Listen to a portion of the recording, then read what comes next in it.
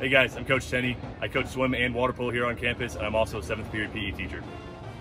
I'm Coach DeCosta. I teach uh, weight training at Clovis West High School. I also coach football and track. Hi, my name is Mary Brooks, and I am a water polo coach and a swim coach here at Clovis West. Hey, this is Coach Lee. Um, I teach uh, PE and coach girls softball. Uh, hey, I'm Coach Gilchrist. I teach one class of wrestling PE, and I'm the director of sport for wrestling here at Clovis West as well. Hi, I'm Maddie Dinsdale. I'm a PE teacher, and I coach volleyball and badminton. Hi, I'm Taylor Heckathorn. I'm a PE teacher, and I coach boys water polo and boys swimming. Hey everyone, I'm Coach Castro. I teach PE and coach boys and girls tennis. Hi, my name is Rhonda DeRuiter. I teach PE here at Clovis West, and I also coach our girls volleyball program. Hi, I'm Coach Brown. I coach football and teach PE. Hi, my name is Kevin Patrick. I teach PE and I'm the director of sport for baseball. I'm Coach Sinetti. I teach PE here at Clovis West High School and I also coach boys and girls golf.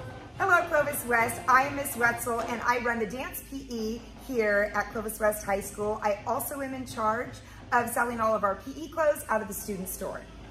And I am Coach Wahlberg. I'm the PE department head here at Clovis West and I also coach uh, the boys basketball and the girls badminton. Here at Clovis West, we look for a total package student with mind, body, and spirit at the front of it all. We're hoping that your child will choose to participate. As long as they participate and dress out on a daily basis, they will pass PE. There's no reason your son or daughter should ever come home with less than an A in PE. We, for me, PE is play and enjoy. We want them to go out, we want them to have fun. So if they participate, they dress out every day and they participate, they will end up with an A in the class. If for some reason they might struggle on a test or two, they always have a chance to do makeups.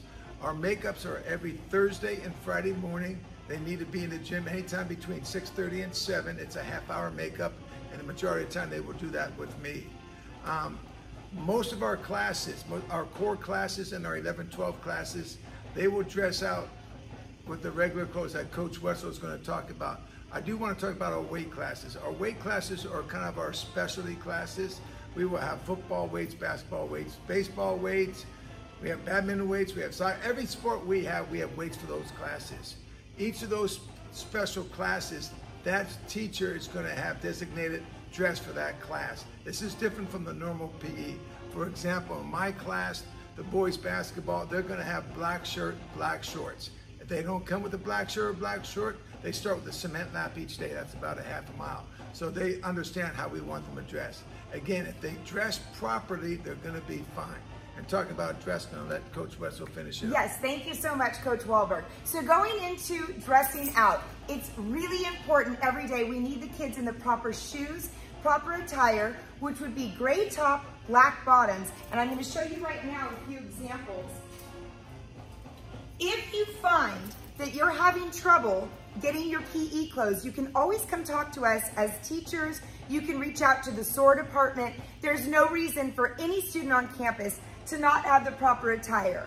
Our regular daily attire, as Coach Wahlberg and I are showing you, is that we've got the short sleeve gray Clovis West PE shirt and the black Clovis West PE shorts, each $15 and can be purchased at any time during the school year in our student store. We also, when the weather gets a little bit chillier, we have a long sleeve version for $20 and we even offer a variety of gray sweatshirts.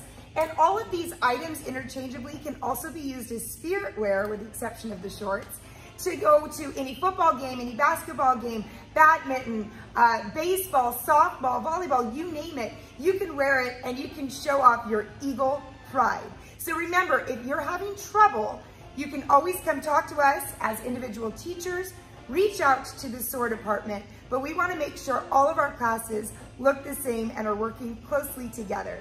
And again, remember, if your student does not come home with an A in PE, you need to find out why. And I'll guarantee you, most likely it's probably because they didn't dress out, they're not participating as they should. Please help us, please stay on top of them, and we will help your son and daughter also. We look forward to seeing you, and we will make sure that we've got our handbook uploaded to the Clovis West website where you can access and see all policies and procedures not covered tonight. Thank you so much for your time. Thank you.